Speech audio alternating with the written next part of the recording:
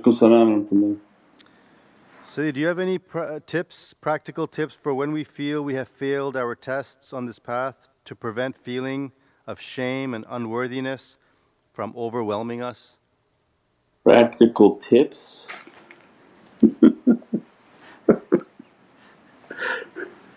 yeah, we have teachings that are practical tips. Yeah. yeah, make istighfar and try again, inshaAllah. Eh, Definitely not an easy path. The whole point if you picked up today was that they're not capable of doing anything. That for people who think that they can do an awrad and they can do this and they can do that and they can fight shaitan, they already lost. You do everything as an imitation and then you give support and then you go out and feed people and then you do good deeds so that these grand souls you catch their nazar. If their nazar comes upon you and by means of their gaze they uplift the servant to the good deeds and actions. So we're doing what we do as an imitation, not as you think you're levitating and you're getting off the ground by it because you have to be open and honest with ourselves the shaitan is attacking from every direction. And no matter what we do shaitan is continuously attacking and when you pray shaitan is attacking and when you eat shaitan is attacking and whatever you're doing of ibadah shaitan is attacking. So when they understood that they realized that these holy nights, these feeding projects, these birthdays, wiladats and, and wafats and, and passings this way of love and attaching ourselves to these grand souls by means of love, it's that their support comes, their madad comes. When the madad comes it begins to uplift the servant and dress the servant with the permission of Allah that Allah gives them a permission, they love you, they want to be with you, they're not making it. And when the servant comes with humility they know they're not making it but they have to know that. If they think they're great they're already lost in, in the hands of shaitan. Anyone whom recognizes they are weak, they're da'if and they are completely overtaken by shaitan. Assalamu This is Shaykh Nurjan. Thank you for watching the video that you're watching. Inshallah if you're happy with the content and happy with these programs Please support the button below the programs that we have for our orphanage repairs, our water well, Give the Gift of Life, our mobile food vans. We have now five vans Vancouver, Chicago, Los Angeles, Pakistan.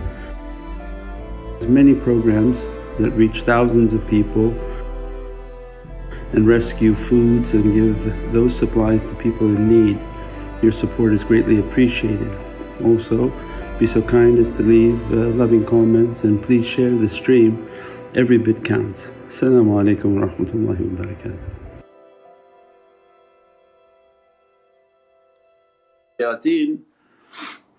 Like a thousand ifrit, a million ifrit are all over you, your hand is barely standing up to keep your madad. Then the madad and the support reaches the servant whom is humble. That, that's the, the, the images that Allah put in all of these popular media that when they found that their fight was completely overwhelmed, that the amount of evilness was too much around them, at that time Allah sends the support. So that the servant has to recognize that at all times they're weak and that they have, they have nothing but God's hope and their divine grace to reach to them that one becomes humble and their way towards Allah is always inshaAllah humble. For if arrogance should come in then means that shaitan now took the seat and is sitting upon that uh, being. So yeah alhamdulillah is, is, is riddled with failure. Go out, do good deeds, give sadaqah, give charity. Every time you make a dua on the app click at the bottom and give charity. Every time you're about to do something give charity. Every time you, you, you want something from Allah go out and feed somebody. If you can't feed somebody then give charity so that they can feed people with that. Those are the things that take away all the difficulties, those are the things that multiply our hisab. Like a, a, a bounty that comes to the servant in ways they never imagined, not from their own action. You don't get the bounty of Allah because you prayed but you do get the bounty of Allah when you gave charity. And if you gave enough charity then when you prayed your prayer actually counted for something. So it's the reverse way. Not that people think that their action has the bounty and Allah's impressed by it but when they're humble they say, I have nothing Ya Rabbi. But you have something then they go out and do good deeds. The good deed saved them so that when they made their salah Allah listened Allah raised that salah and that action. So it's always the reverse way. If arrogance comes, it's, I don't have to do I'm so good, I just made my prayer. But the way of humility that these Sultan al Awliya are teaching because look at their du'as, they're asking that we come through the, the door of disbelief and wrong actions. That was their teaching that to continuously lower oneself, give and do in the way, a khidmat in the way of Allah then your salah may have power if Allah found acceptance in what you do and how you serve. Your zikr has power, your love and ishq has a power because of the actions and deeds inshaAllah. So alhamdulillah the approaches are based on humility inshaAllah.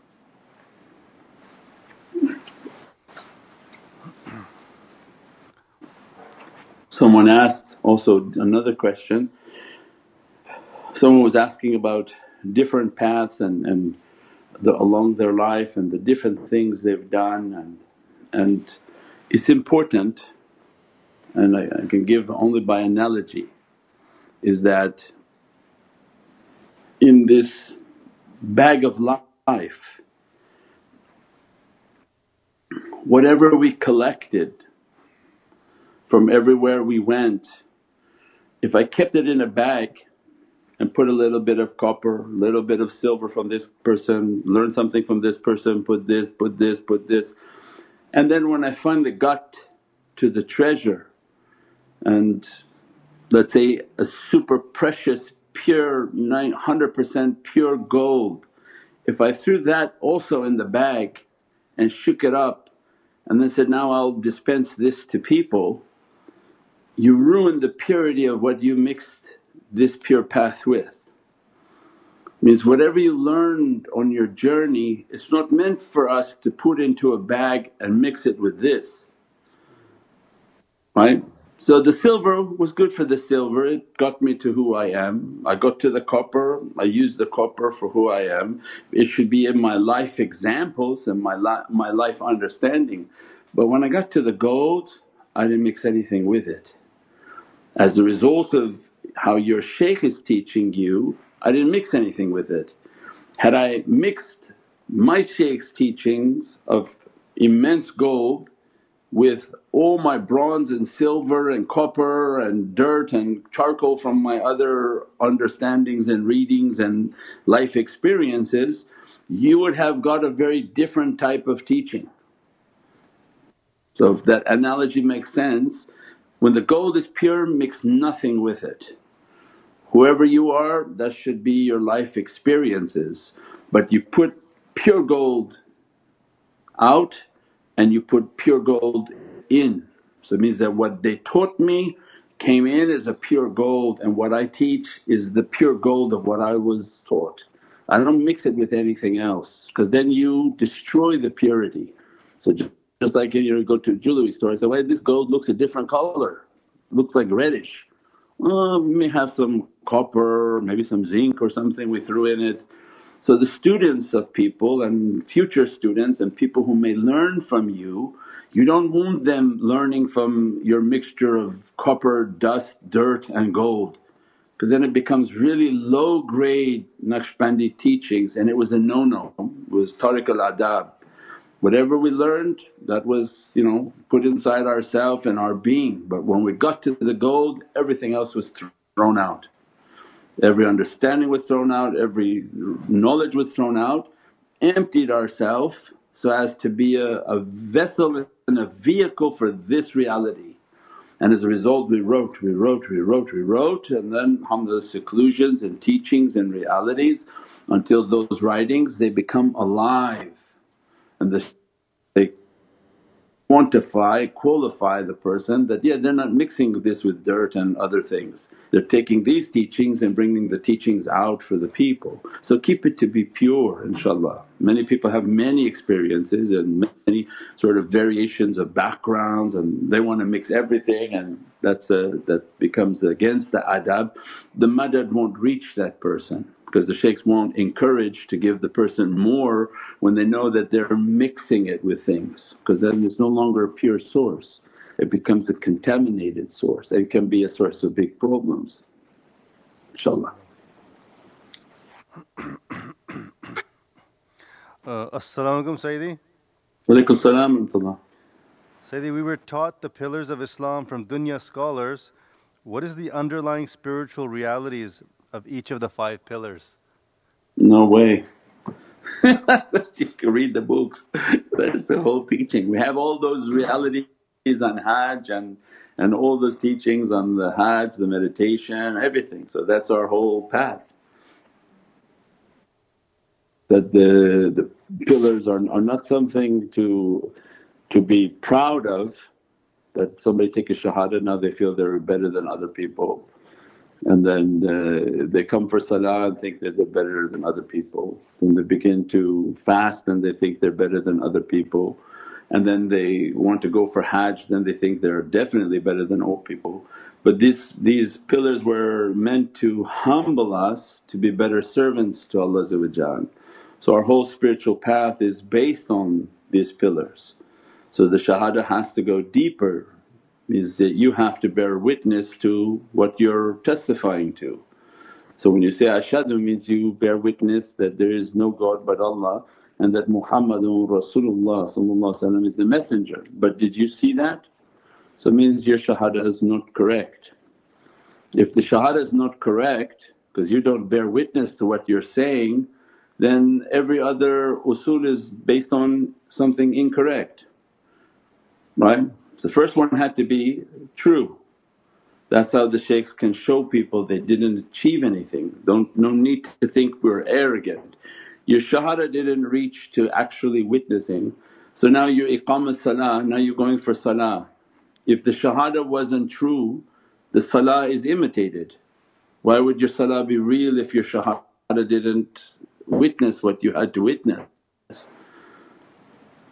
If your salah is not true then your Sawm of Ramadan is what? Because the one who leaves salah leaves Islam. So now their salah is not real, their Ramadan is, is imitation. And if you're, you're, you're not seeing, your praying is questionable, your Ramadan is questionable, your Hajj is a tourist vacation. But no problem, Allah says, we accept it, no problem. But from awliya they're coming and teaching it, you did, that the first round, alhamdulillah let's go back now the other way. Let's start from the hajj and now enter into the reality of your hijrah that you see yourself at the Kaaba and that you're always in the presence of, of that Kaaba. And as a result of that Kaaba then your whole life is now to go back into your fasting and that every, every sense of your being has to be fasting. Right? So that's the muraqabah. Keep the presence of the Kaaba, keep the presence of Prophet all the time. So the person who did the five pillars got to the Hajj but it was all imitated well every every journey is a circle right? You get from one point you went all the way you did your hajj oh congratulations. Now your journey starts. Because now that you went for hajj now sit every day remembering you're in the presence of the Kaaba in the presence of Sayyidina Muhammad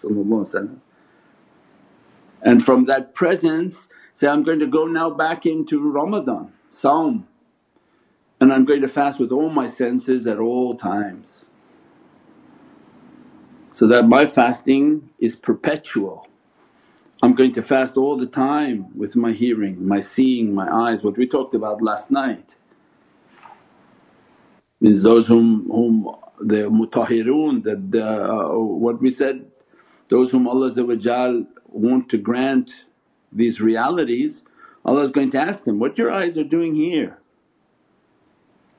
What your, your ears are doing here? Why are you sitting in these things and, and looking at those things and doing this and doing that and you wanted to be from the mukhlis. So means then their hajj, their continuous state of Ramadan. If they're continuously fasting then as soon as they enter into their salah, their salah is a continuous meditation and a continuous state of fasting. They don't want to hear bad, they don't want to see bad, they isolate themselves more and more from people because people are just you know they're all over the place now.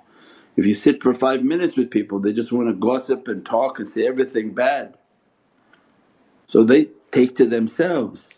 Now their salah is like in isolation because they're keeping the presence of the Kaaba, they're continuously fasting with all their senses. Now they're making salah present with their heart. Now what happens? At-tahiyyat lillah wa tahibat lillah wa salaamu alayka ayyuhan nabi and then they begin to see Sayyidina Muhammad Now their shahada became real. Because even if you can feel the presence of Prophet that becomes real. Now you're in the oceans of a real shahada. You feel the presence of Prophet you begin to have dreams of the presence of Prophet Now the shaykhs took you into your salah, activated your real shahada.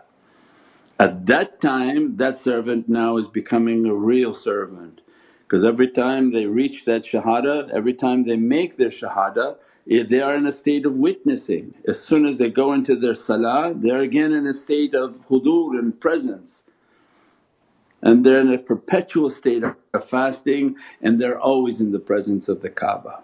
So if they can unlock that then that become a perpetual and not a, a, a once in a lifetime tourism package that you have to be continuously in the state and the presence of the Holy Kaaba and the presence of Madinatul Munawwara and all of its realities and we have the whole talk on that. And the Hajj books, so you have to buy three Hajj books and give them away, keep one and give two away as gift. This is a holiday season for people, you should buy the books and give them as gifts to people whom won't appreciate it or may appreciate it inshaAllah.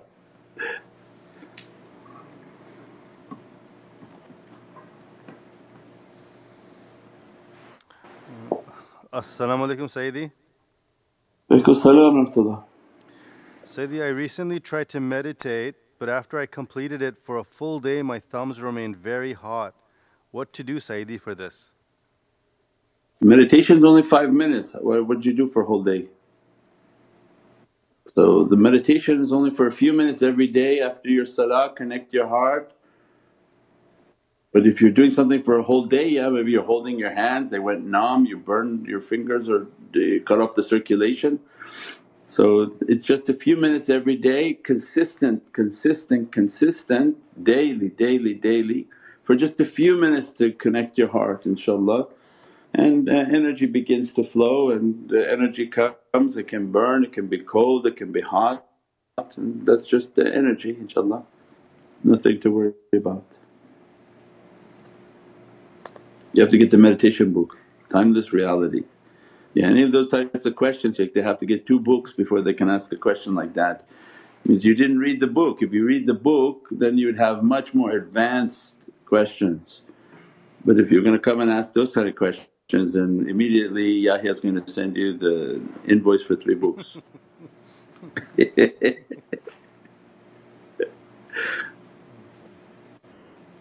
Say this uh, person keeps asking this question for the last few weeks. Uh, As-salamu alaykum Sayyidi. Where's Yahya send the invoice? invoice. For three weeks they're asking the same question? yeah. Uh, Sayyidi, is it bad to watch anime or is it completely haram? I think they've asked that before, it's asked and answered. You know in the court of law they say asked and answered because the attorney already stipulated to these things. Yeah, before you give any verdict of haram and these, these are heavy duty verdicts so better not to use those on this forum that you know haram is haram and halal is halal and, and you know things that are makruh and, and that maybe not good for you and, and questionable for you that's you know something you have to, to take. What was the we were talking about yesterday? So if you were present yesterday that was all about the what was the one? Tafakkur and mutta. Shazza, what were we talking about yesterday?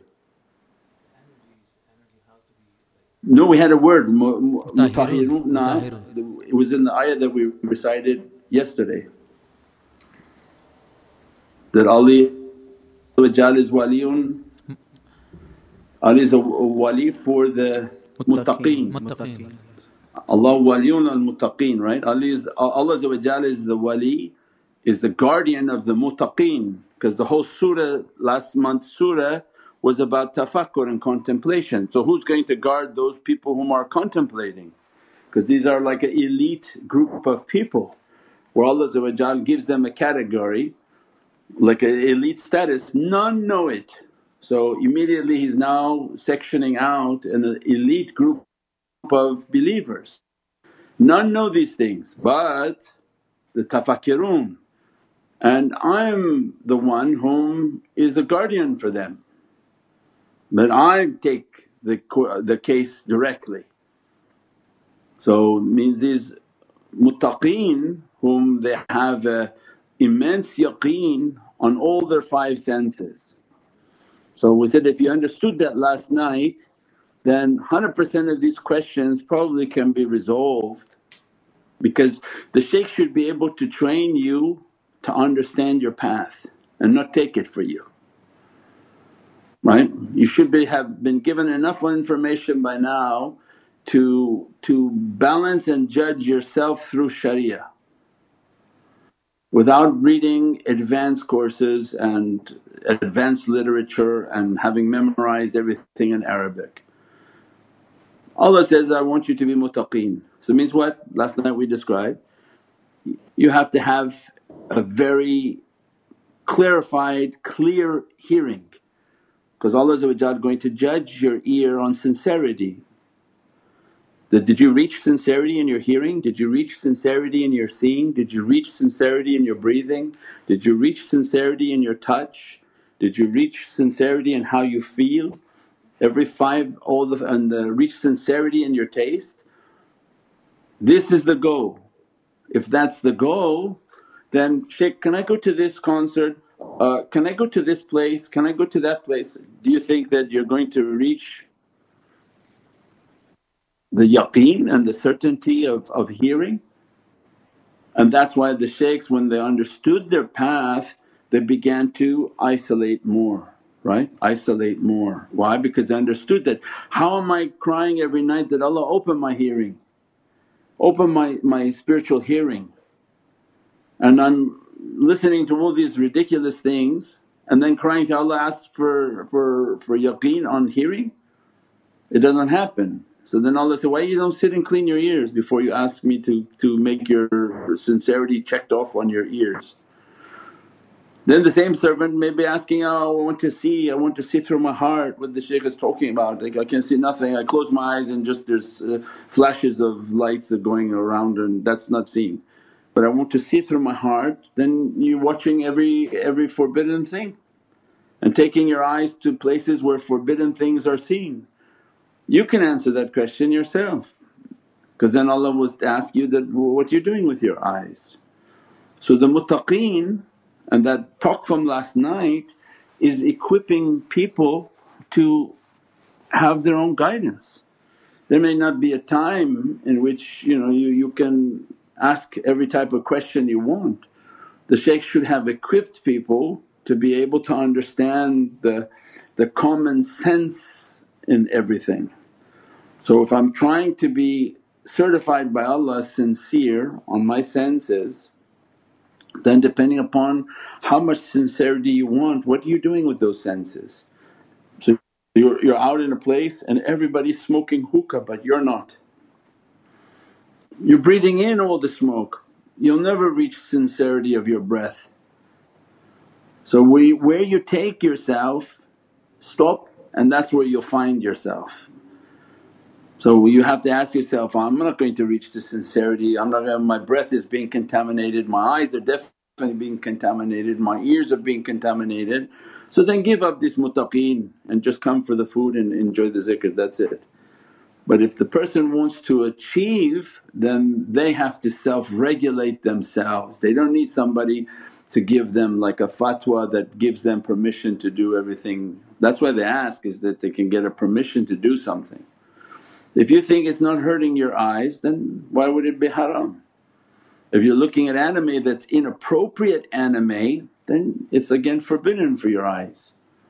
So if it's just you know somebody doing karate then what, what's the problem with that? But if they're doing you know anime now can be very graphic and very sort of uh, inappropriate. So no, then if you're trying to clean your eyes, no. Then there's questions on music and can we listen to music? We have to clarify first of all, praise is praise. Music is haram by Prophet describing music is forbidden because anything that agitates the heart and takes you away from Allah of course has to be forbidden. So then imagine somebody who's trying to purify their hearing so they can hear their conscience and have good hearing with, I want to hear my soul then you turn on a station that every other word is a cursed word, so it's actually cursing going into your ears. So then you regulate yourself. Say, how much I want to achieve and then I have to put my struggle upon myself. So everyone has their own jihad. You know jihadul akbar is the fight against oneself and that's the great fight. Somebody says, now I want to fight, put your hijab on, put your kufi on, grow your beard, fight against every negative energy and put the sunnah on and carry the sunnah whenever you can. Do all these things as a struggle against oneself. It's not for other people, it's for myself. And that's what's important in all of the these this approach so that the person has enough tools to govern themselves. So wherever they are they're stuck and they're thinking of something, you think of these lectures and these teachings that, you know, what am I trying to achieve now? Am I going to get Allah to open my eyes if I'm in this place? You say probably yes or no. If you can say yes then alhamdulillah. If you say no then astaghfirullah take yourself away from there inshaAllah.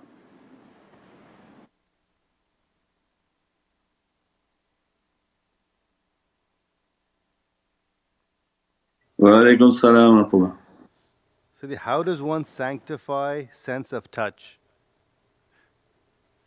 Your hawa.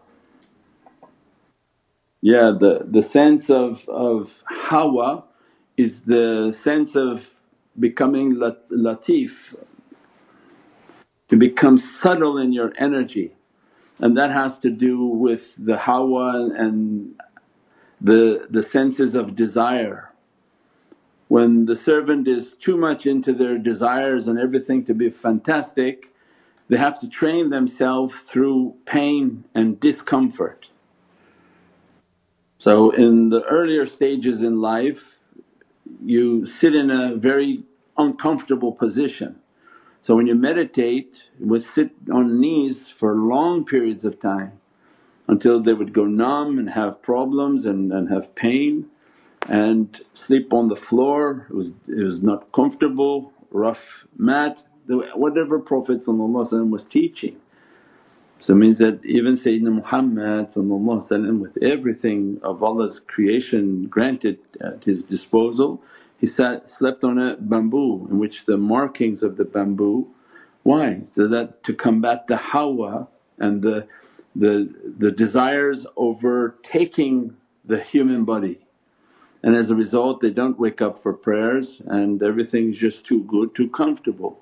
So in their early years of struggle you struggle hard, put difficulty upon the self, put fasting upon the self, uh, sitting in uncomfortable positions upon the self so that to cause a dis-ease in the body in which to train yourself so that to bring the hawa down. When it goes down and Allah grants a sincerity in that struggle then they can become more latif, more subtle. And through their meditation and the building in their meditation practices because how can they meditate if they keep falling asleep? So then they sit on their knees and they make their connection and they make the connection, make the connection until there's so much pain they can't sleep so they can't fall asleep because everything is, is not in a comfortable position. As a result they're making a very strong connection and that's when the hawa is going down and Allah is giving them to be very subtle so they can feel with their energy and with their soul. But the one whom has no feeling from their soul they're numb to everything, they feel absolutely nothing. You say, did you just feel that? Absolutely not. Even you know the devil himself come into the room they won't feel it. So it's a matter of the training of hawa to go down and then the subtlety of their energy to go up. And the more they become subtle the more they're understanding these vibrational fields, right. So this, this realm is everything is a vibration. So you're a vibration in which I can see, right. If I make myself to become more subtle what happens? I'm subtle now to other vibrations. So these creatures that are moving through these realms they're moving through on vibrations they vibrate at a different frequency and they come through our frequency. So the one whom is becoming subtle to energy is picking up all these different vibrations of energy and that's what's important. As they pick up these vibrations then they can sense when something is coming into their energy field and they can hear the buzzing, they can hear all sorts of sensors, they can have a, a compulse where their energy is feels like it's being attacked at a distance when an energy is coming into their field of energy. So these are the important states to, to achieve of a subtle nature and that's by training and pushing hawa down by coming against the nafs, by coming against hawa, by coming against dunya and all of that is a fight against the shaitan. So those are the four enemies in which the servant and you can go to Nur Muhammad and fight the four enemies and uh, that's a fight against these uh, four desires so that uh, to make the soul to be whole and powerful. The soul is broken by these four. The nafs breaks it in one direction, the, the hawa breaks in another direction, the dunya and all the, the dunya desire breaks in another direction and shaitan then manipulates all of them inshaAllah. Uh, As-salamu alaykum Sayyidi. Walaykum salam As solar flares increase in recent days, I was told that these solar rays affect our vibration energy. Is there a reality to this and what do you advise we do of practices?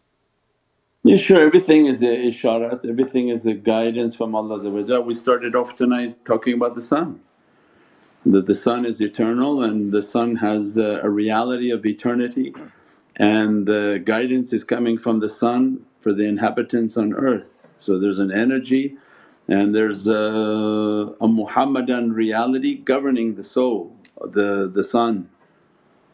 So that, that is a isharat and guidance that comes uh, from the sun and energy that comes into the atmosphere and uh, sends out what needs to be sent out to the entire galaxy that is under this control of this sun. So this sun has the 11 planets under its domain, dominion. And that representative is a Muhammadan representative. Where Allah describes malaikati wa ruh bi'idhni rabbihim. With the power of Allah it has a continuous signal coming out. With they call I think they're photons, the, these rays that penetrate everything so these are the Wi-Fi for our understanding. How we're making a Wi-Fi with a mesh net, the sun is our Wi-Fi. It's sending signals out throughout this galaxy. and then there's universes that have a central sun which is a Wi-Fi for their existence. And in the middle of all of them the strongest Wi-Fi which is the strongest presence of Sayyidina Muhammad a tariq. It was like they call I think a pistol star and that sends a signal to all the suns and to all the universes and to all of creation. And that's in Surat al-Qadr, anzalnahu fi laylatul qadr, madraka laylatul qadr, laylatul qadr khairu min alfi shahr. تنزل الملائكة والروح بإذن ربهم كل أمر كل أمر Every command by the permission of Allah is coming through these malaika who will send it out like the photons and the ruh is the Muhammadan representative of Sayyidina Muhammad upon that station. And that's what Sayyidina Yusuf was describing to his father in Surah Yusuf that, oh Allah made me to be the, the one whom is in control of the sun and the moon and the 11 planets are under my feet, under my dominion. Sayyidina Yaqub understood the very very high station, don't tell your brothers who they're all prophets, they're going to be jealous of you. And when he achieved his station, when Sayyidina Yaqub a prophet of Allah came to see his son after all these years, what he did? He went into sujood. A prophet of Allah and Allah's telling the story so it can't be bad a Prophet of Allah went into sujood because he, he's now in the presence of a Prophet who achieved an immense station when literally the sun and the moon 11 planets were under his throne, under his dominion. And that, that izzatullah, this is a, a sign and the reality of awliya that awliya are not in charge of this earth but they're in charge of the entire created universes. الله سبحان ربك رب العزة عما يصفون وسلام على المرسلين والحمد لله رب العالمين بحرمة محمد المصطفى وبسير سورة الفاتحة Assalamu alaikum wa rahmatullahi wa barakatuh. This is Shaykh Nurjan. Thank you for watching the video that you're watching.